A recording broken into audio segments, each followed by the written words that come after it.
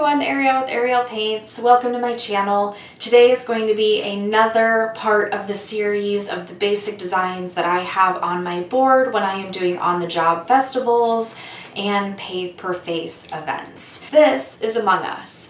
Very often I will just do a cheek design, sometimes I'll do it a little bit more full face. I'm going to show you two different ways to paint them and then at the top of the forehead I really just started to play around and created this on the spot. So come along the journey with me and let me show you how I paint Among Us on the job. I'm going to start with the Big Drop Petal brush and a cake that has some light blue and cream and white to do the mask. And get this loaded up. So Among Us is just a really popular, consistent design for me. Uh, the kids really, really like it um, even the kids that don't play the game. And I do ask all the kids because I've I noticed early on that the kids uh, that were getting this didn't even know what it was. So now I've made it a habit of asking, oh, do you play Among Us? And like 99% of the kids go, no, they just know the imagery and they like it. So it's kind of interesting, even if they're not super involved in playing video games, kids really like Among Us and it's girls and boys. So it's a really, really good design to have.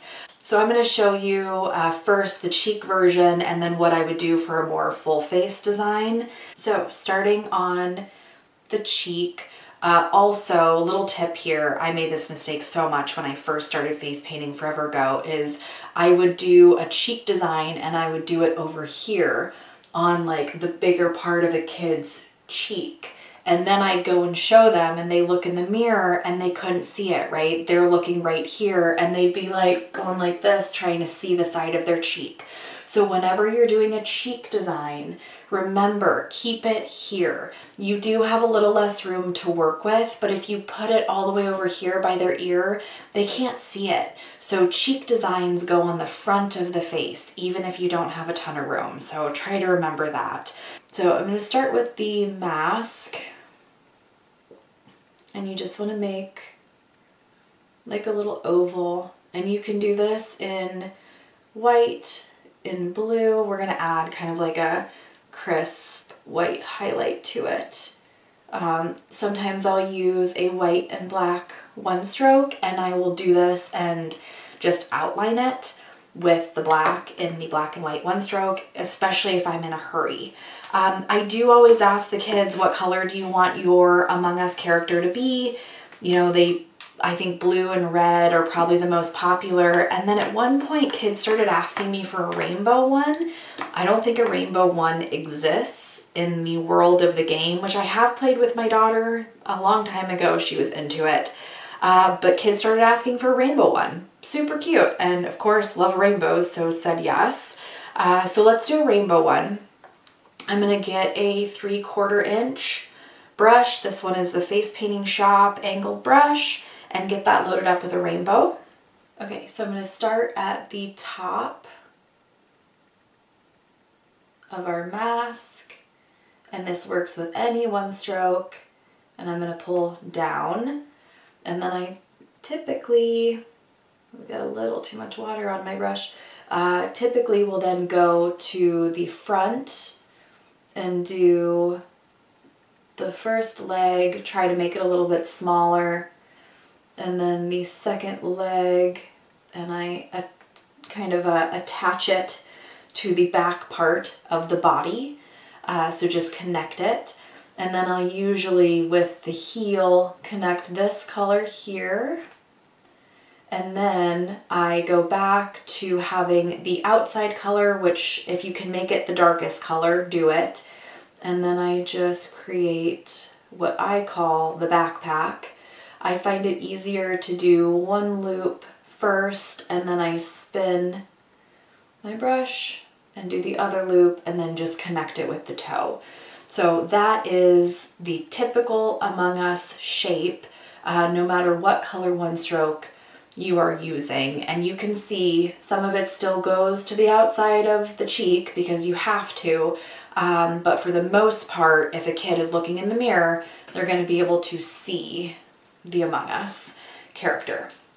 Okay, so once I get that base down, which is pretty fast, then we can do an outline.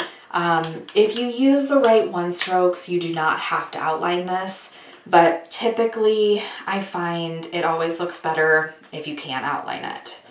So let me get some black loaded. All right, so we are going to go around the little mask and you can think of it as an oval.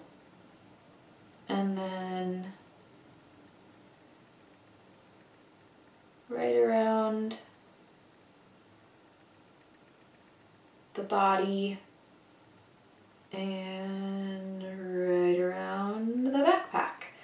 And it really does help define it. And let's grab some white to highlight it. The other fun part of Among Us is that kids will ask you for a sus, which is suspicious, S-U-S, uh, a sus one. And you can say, do you just want me to write sus at the top, which I usually do in black, or, you know, underneath, depending on where you have room. And they will often just go, yeah, write sus, you know. It means that they're the Among Us character that is killing everybody. Um, and it's kind of like a mystery game. You have to figure out the suspicious Among Us. Okay, so for the mask part, I'm doing like a huge highlight, like a big drop.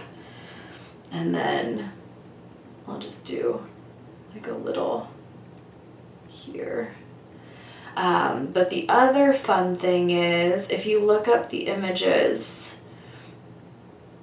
of the Among Us characters, uh, they have like different hats. They might be holding a knife. So I've painted a little knife here uh, on the, like that they're holding. Um, I've done a top hat, I've done a ball cap. At Christmas time, I do a Santa hat on them. There's an Among Us character that has an egg on its head, like a cracked egg. I have no idea why. Um, but if you have time, it's really fun to add those little details because the kids think it's super cute. And this goes pretty fast, so adding that stuff is not that hard. Um, now they don't really have hands, but sometimes what I'll do if they want a knife, I'll kind of make a little bump. So like, I'll do like that. Like there's a little hand coming out and then I'll put the knife in that hand. Otherwise the knife can just be kind of like floating right there, but I don't know, it doesn't really look like anything to me. So here, let's try to do a knife. Um, I'm gonna need my other little mirror to do this. So just do like a flat edge and a little round edge.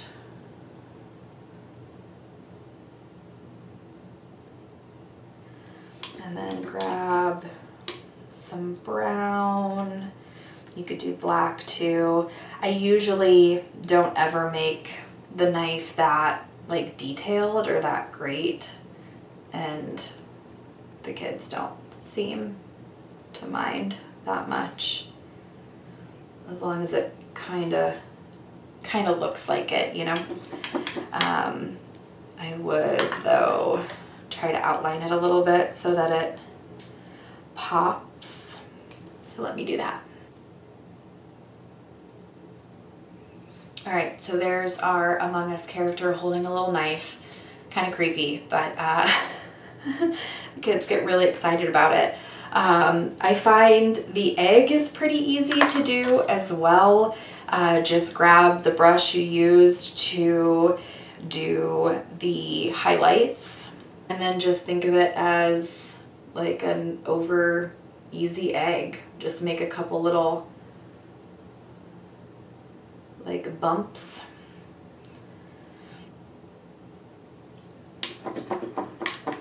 And then do the yolk in an orangey yellow. And then for the lining of this, uh, so I used a pointed round from the face painting shop for the outline of the Among Us character and the knife.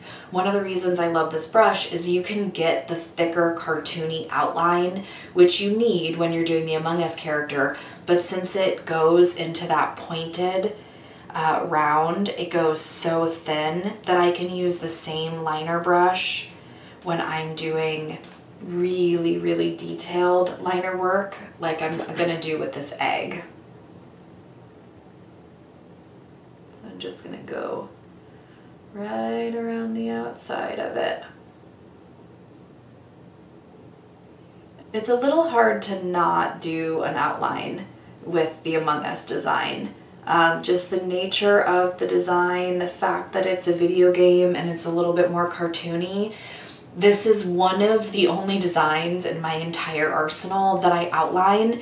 And it's not that I can't outline, I just try to do as little outlining as possible on the job because it's not quick. You know, there's nothing about it that's fast. So most of my designs over the years have morphed into how can I do this design without outlining it. That being said, this is such a fast design that it doesn't really bother me to do the outline because it tends to not take up too much of my time. Very often I am just doing this on an arm or on a cheek quickly and then I'm done. So I can do them pretty quickly uh, and have continued to keep it on my, my list of designs because of that. So once I do that, I usually will um, add some glitter and just take it up around the eye or depending on if the kid does not like glitter, I will take my star blends. So in this case, I'm gonna grab my blue and purple star blends and load up a smoothie blender. These are the disposable ones, but I do reuse them. And on one side, I am going to do purple. On the other side, I'm gonna do this brilliant beautiful blue. And then I'm going to take one of my favorite stencils, 1206. Uh, so this is just a brilliant stencil and I use it for everything. So I'm going to start big with the bigger dots closer. Uh, let's see, let's start with blue. And I'm going to, in a triangle shape, just add some texture. About halfway through, I'm going to switch to the purple and just let it kind of cascade out. So there's a really quick and easy way to do Among Us on the job. You can also just do a one stroke. You could do a star stencil. There's lots of different ways you can finish this off to make it a little bit more than just a cheek design. But I think as just a cheek design, it's pretty effective just the way it is. So it's kind of up to you how much time you have and what the kids want to do. Okay, so you can also do Among Us on the forehead as well and kind of cut off the bottom half and just do the top half. You could also do this as more of a full face and do a larger Among Us here and do a smaller one at the bottom and kind of connect it all with a one stroke and with stencils. So you can make this a really quick small design or a bigger full face design depending on what kind of event you're doing and depending on how much time you have. So I'm going to show you another version of how I, I've done Among Us and how I still do it in the past. I switch things up all the time because I get bored. So I'm going to take a black and white one stroke and I'm going to load mainly the white onto a three quarter inch brush, just picking up a little bit of the black cake. Okay, so I've got my brush loaded and I'm envisioning that I'm going to have most of my among Us character kind of here. I don't really want it like flat in the middle of the forehead. I want it just like the tiniest bit off center so that it's more like coming off of this eyebrow. So I'm envisioning the mask, which is this part, to be like right here. So I'm going to place my one stroke down and I'm just gonna do a loop, keeping the black on the outside and then I'm going to just pull the heel of the brush around to create the rest of the mask and then I'm going to finish it off with the toe. So this is what I typically do if I'm in like a crazy hurry or I have a crazy line and I don't want to do as much outlining. So then I'm going to pick a one stroke that has a black outline for the body. So I'm going to do this custom cake that I made with turquoise and that has the black edge and get another three quarter inch brush loaded up with this cake. All right, so similar concept, we just have really dark edge on our cake this time. We are gonna start at the top and just pull around and go right down to the brow. And I'm gonna have room for a little bit of the front foot. I'm gonna drag that heel over and then just a little bit of an additional foot. It's gonna be kind of an illusion, but it's really just going right towards the brow. So I'm just gonna drag the toe down here. And I wanna make that just like a tiny bit bigger. And then pull the toe up, pull the toe over, and that is what it's going to create most of my outline. So I don't really have to go back and outline this unless I really, really want to. In this case, I have time and I do think that if you have the time to add a little bit of an additional outline, it always helps. But if I was in a real time crunch and I was looking at a line of like 50 kids, I would not be going back and outlining anything or adding like extra stuff. So you can see it, it helps, but I don't think it's like 100% necessary. I think you could get away with just not doing it if you wanted to. So it all depends on time. Um, I find that the kids don't typically ask me to add extra stuff. I've had kids ask me to add the knife or just the word sus more than anything, which would be like a brilliant stencil if somebody would make like a sus stencil and like bubble letters, that would be great. Would you let me know if somebody does that? Send me one, please. Um, but really, I'll just like write sus. I don't do anything fancy. You can write it in um, like a one stroke and make it like bubble letters and make it kind of cool up on the top. Maybe we'll do that for fun here in a second. Um, but I try to keep it pretty simple because it's supposed to be like a fast, quick design. And kids don't typically ask me to add a lot of extras to the Among Us character. Uh, typically, I offer. If I have the time, I will say, do you want it to have a top hat? Do you want it to have a cracked egg? There's an image of one with a toilet paper roll on its head. I have no idea why, um, but there is. So if we get into the conversation and there's time, usually they're always going to be like, yeah, put a ball cap on it or, you know, do something. But I find typically they're not like pushing me to do it. Okay, so a few highlights. Um, and then let's go ahead and write sus over here uh, in like bubble letters and see how that looks. That sounds fun, doesn't it? All right, so I'm gonna do it in, I think the hot pinks and the oranges because this is cool tones. So I want it to pop out a little bit. I'm gonna use a half inch flat and we're gonna think of this as like graffiti writing. So get that loaded up. And then I'm just gonna do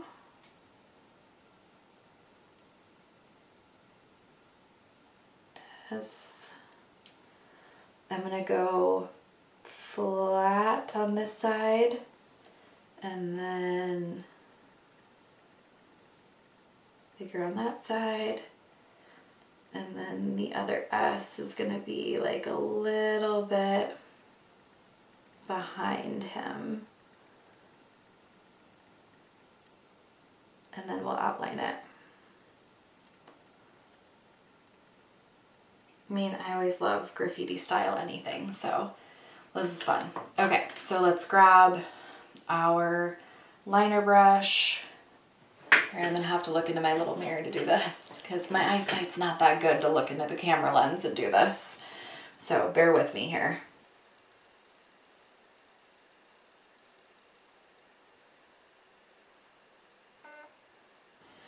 All right, that is very shaky bubble So forgive. I definitely wish I had a model to do this on because I doing that like across my body because obviously like I'm like this, right? So my hand's like this, trying to do it on this side of my face. So it's super shaky, um, but just ignore that. All right, so I think in order to make this look super graffiti-ish, let's do some of this behind it. And then I think I have like a paint splatter stencil, which would be really cool to do up there too. Let me see if I can find it. All right, so here's my paint splatter.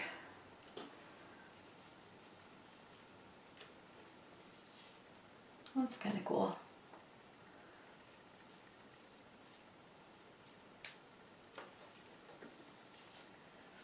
It just gives it a little bit of that like cool graffiti look.